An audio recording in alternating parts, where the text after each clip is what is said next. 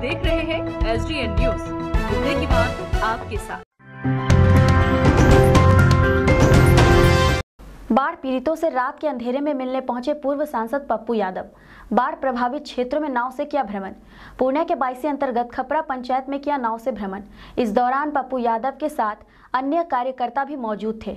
भ्रमण के क्रम में ग्रामीणों के साथ बैठक की। प्रभावित लोगों को हर संभव सहायता प्रदान करने का भरोसा दिलाया। सरकार को आड़े हाथों लेते हुए जमकर बरसे। बाढ़ के मुआवजे पर बरसते हुए कहा कि सरकार बाढ़ के नाम पर हज़ारों रुपए लेते हैं और 90 प्रतिशत घर ले जाते हैं।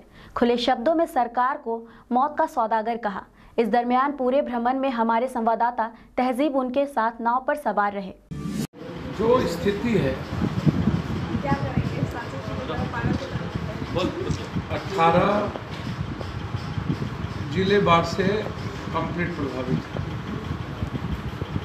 लगभग तीन लाख पचपन हज़ार, पैंतीस हज़ार करोड़ रुपया। पाँच लाख पैंतीस हज़ार करोड़ रुपया सरकार ने खर्च किया है तीस सालों में, दोनों मिला। दो लाख हज़ार करोड़ रुपया लगभग हर साल खर्च करते बाढ़ पर आज तक कोई सॉल्यूशन गवर्नमेंट ने नहीं।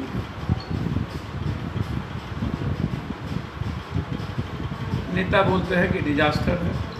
मैं कहता हूँ कि नेता डिजास्टर नेता कहते हैं कि नियति है।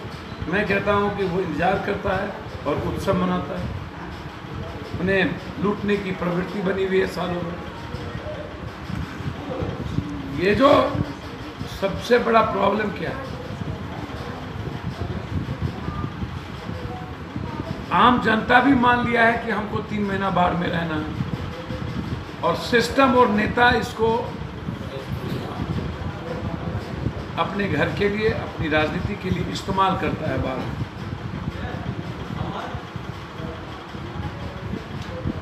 आप लगान फ्री करिए हर परिस्थिति में।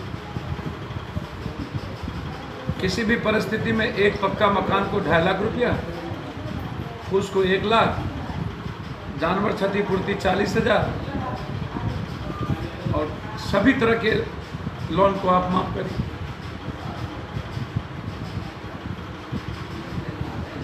और उसके बाद तीन महीने हर व्यक्ति को पच्चीस हज़ार रुपया महीना और बीस क्विंटल अनाज आप तीन महीने के लिए आप दे दीजिए।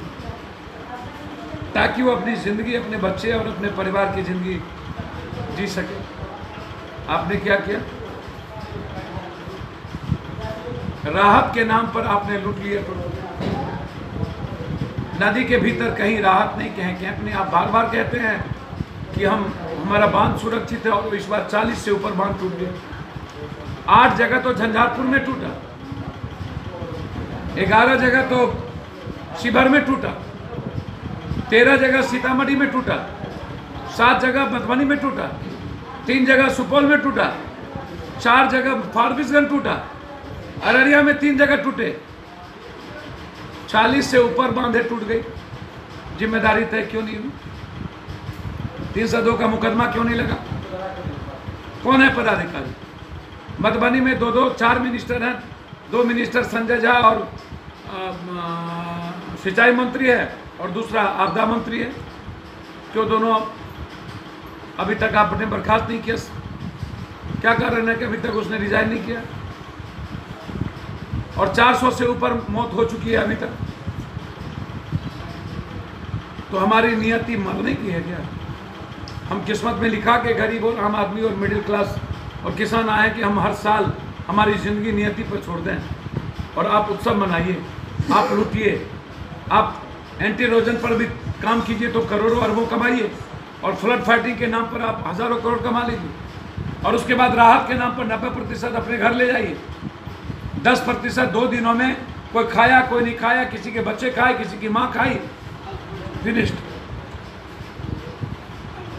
ये सरकार या विपक्ष? ये सब लोग मस्त। ये सब लोग मस्त। एक हफ़्ता हो गया कोई लेना देना नहीं है। आम आदमी की त्रासदगी से ये लोग मौत के सौदागर हैं। इंसानियत के दुश्मन हैं। अपराधी है ये लोग। इन नेताओं पर अप, अपराधी मुकदमा चलना चाहिए। अब हालात मुझे एक बात समझ में नहीं आई। कि नीतीश जी कहते हैं कि हम सक्षम हैं हम खुद ही बाढ़ से निपट लेंगे। और एक तरफ़ मोदी जी हैं। वोट कहाँ गिरेगा? मोदी। बाढ़ से मरेगा कहाँ मोदी? वोट कहाँ गिरेगा मोदी? मुजफ्फरपुर में साढ़े तीन सौ बच्चे मरेंगे कहाँ?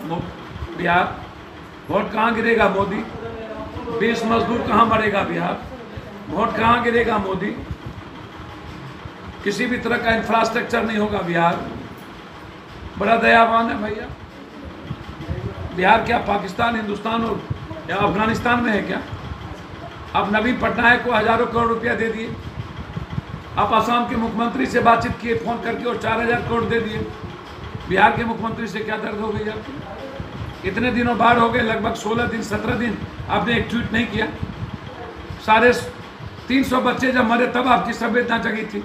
शिखर धवन के लिए जगह लेकिन बिहारियों के लिए नहीं जगह कभी आपके मंत्री स्कोर पूछते हैं पाकिस्तान कभी आपका मंत्री, जब हम पर लाठी चलता है तो आपका मंत्री, पटना में लाठी चल रहा था, हम लोग पर गोली चल रही थी, आपके मंत्री ऋतिक रोशन से गलबैया कर रहे थे। फिर आपके यहाँ नाच, आपके सुशील मोदी नाच देख रहे थे स्कूल में। उसके बाद चले गए पिक्चर देखने के लिए।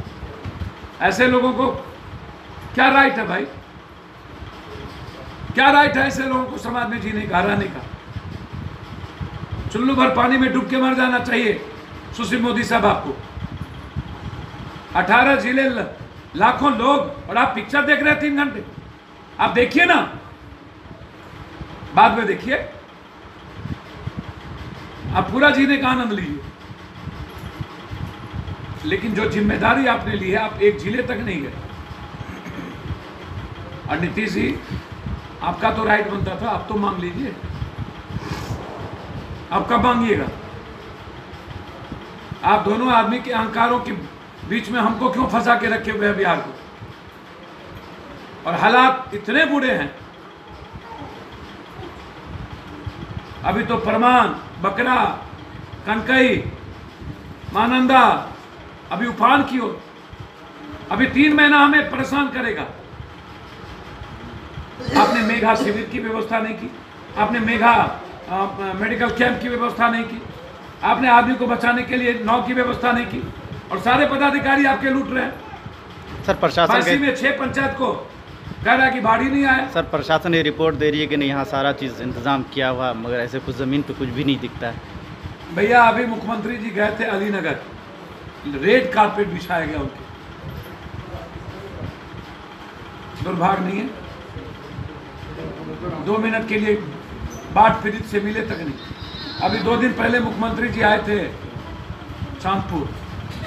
कटिहार सर 40 मिनट थाली में चावल दे करके दाल नहीं दिया गया कि मुख्यमंत्री आएगा तब दाल दिया जाए। इससे बड़ा संवेदनहीनता और कुछ हो सकता है क्या? और उसके बाद मुख्यमंत्री जी मात्र सात मिनट रुके और उड़ के चले गए, देखने तक नहीं गए।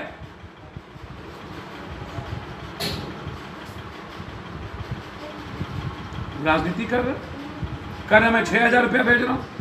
छह हज़ार रुपया में शौचालय नहीं बनता है ये दो हज़ार रुपया पदाधिकारी ले लेगा, चार हज़ार उसको मिलेगा जो नाम तय करता है। नाम तय करेगा कि चार हज़ार किसको मिलना चाहिए। पदाधिकारी पहले ही कहता है कि नाम हम तब लिखेंगे जब तुम दो हज़ार दोगे। आपके बच्चे छह हज़ार में एक दिन खाना खा लेंगे, क्या नेताजी? इन लोगों को अभी लोग स्वच्छता अभियान चला रहे थे स्वच्छता अभियान, लोक, लोकसभा के भीतर। एक दिन में तीन करोड़ रुपया खर्च होता है लोकसभा में सफ़ाई पर। नेताजी लोग कौन सी सफ़ाई कर रहे हैं? आवास। क्या दिखा रहे इन लोगों के परिवार को, बाल बच्चे को, जिनके लिए ये लोग जेवर खरीदने में परेशान है, लूटने के बाद और इसी पैसे से अभी चुनाव लड़ेंगे 2020 में। जनता को पाँच हज़ार पाँच सौ रुपया देगा और इसी पैसे से चुनाव भी लड़ लेगा और कहेगा हम क्या करेंगे? भगवान की मंजूर थी अल्लाह की मंजूर। यही था नियति तुम्हारी यही लिखी हुई थी। आखिर नेता पदाधिकारी और बड़े बड़े लोगों का बाल बच्चा क्यों नहीं मरता? या परिवार क्यों नहीं डूबता? गरीब का ही लोग क्यों? मतलब वो भी नियति ही लिखा गया है। हमारी नियति बिल्कुल ठीक। तो सीधा मेरा आरोप है। कंप्लीट रूप से यह मानवीय आपदा है, प्राकृतिक आपदा नहीं है। डिजास्टर भगवान नहीं है, डिजास्टर नेता है। इन डिजास्टर, ये डिजास्टर लोग जब तक ज़िंदा रहेंगे ना, इन लोगों को जनता के हवाले कर देना चाहिए। सर 2017 में जो लोग डूबे थे, उनको अभी सैलाब आया था, तब पैसा दिया गया था। डूबने वाले को चार चार लाख का चेक। भैया, मुझे नहीं लगता उसको दिया गया होगा। और इस इलाके में पोस्टमार्टम की संख्याएँ तो बहुत कम होती है। एक तो अल्पसंख्यक होने के कारण भी दूसरा, तुरंत में त्वरित कोई चीज़ होता नहीं, लाश मिलता नहीं है। लाश मिलता भी है तो चार दिन, पाँच दिन लग जाता और पोस्टमार्टम नहीं करा पाता लोग अपने बच्चों को बचाएगा। लोग नदी के भीतर बकरी बचाने में, गाय और भैंस बचाने में लगे रह जाते उनको लगता है भैंस बचा लेंगे तो कल के दिन मेरा बच्चा उससे जी लेगा। और गाँव से निकलता नहीं है गरीब आदमी। तो ये संख्या कितनी कम है? अभी हम लगभग एक दर्जन लोगों को हम अभी कटिहार में अभी मदद करके हम आ रहे हैं, जिसको डूबा एक दर्जन। कब मिलेगा चेक हमें तो नहीं लगता। इसीलिए बड़े युद्ध की ज़रूरत है। सन बयालीस और सैतालीस से बड़े क्रांति की ज़रूरत है। ये मुक्ति चाहिए, आज़ादी, बाढ़ से आज़ादी। सभी बाँध 18 साल 30 साल से ऊपर उसकी आयु हो चुकी है और उसके नाम पर करोड़ों अरबों लूट रहे हैं। वो बाँध तो टूटेगा और हमें नासुर बनाएगा। फरक्का की स्थिति वही, भीमनगर की स्थिति वही। खत्म करिए ना भीमनगर को। तो हालात बहुत बुरे हैं। एक बड़े युद्ध की ज़रूरत है। मैं पीआईएल फ़ाइल सुप्रीम कोर्ट में किया हूँ। 40 सालों के अंदर जितनी बांधें टूटी है, मैंने कहा, मैंने रिक्वेस्ट किया है कि सारा पैसा पदाधिकारी, ठेकेदार और नेताओं का अटैच कीजिए। 302 का मुकदमा जब जब बाढ़ आया, तब तब आप सिंचाई मंत्री पर एफ़ कीजिए। इनको सजा दीजिए मौत की। और इन लोगों से संपत्ति वसूली और बाढ़ से मुक्ति कब मिलेगी? हम सुप्रीम कोर्ट, शायद मुझे लगता है कि एक आध सप्ताह के अंदर ये, दो सप्ताह के अंदर बहस होनी चाहिए। हम छोड़ेंगे नहीं इन लोगों को। सड़क से लेकर के न्यायालय तक लड़ेंगे। और कोसी, सीमांचल और मिथिलांचल, लगभग 26 से 27 28 जिला और गंगा के किनारे को ले लूँ तो लगभग लगभग 32 33 जिला गंगा, सोन, गंडक, कमला भूथी बलान, कनकई, मानंदा, कोसी, परमान, बकरा सिरचंद मैं यदि इस नदी को ले लूँ तो यह नदी आज हमारे लिए मौत का सबब बना है और इसके पीछे सिर्फ़ नेताओं का सबसे बड़ा रोल है, क्योंकि नेताओं ने इस बाढ़ को नदियों को अपने कमाने का ज़रिया मान लिया, लूटने का ज़रिया मान लिया। सिंचाई विभाग ही है, बिहार में जो सबसे ज़्यादा लूट का अड्डा बना हुआ है। इसीलिए नेताओं को लगता है कि इन चीज़ों से उनकी सियासत और वोट पर कोई असर नहीं पड़ता है। लोग इसको डिजास्टर गरीब आदमी भगवान की देन मान लेते हैं और नेता को लगता है कि 10 किलो चावल और 5 किलो आटा पहुँचा के हम अपनी पीठ थपथपा लेते हैं। हमारी बिल्ली हमी से में हो। कि बाँध जाने परसौती के हाल। इन लोगों को नदी के भीतर एक महीना रखिए नेताओं को, पन्नी के नीचे। तब प्रसव का पीड़ा का पता और दर्द का पता चलेगा।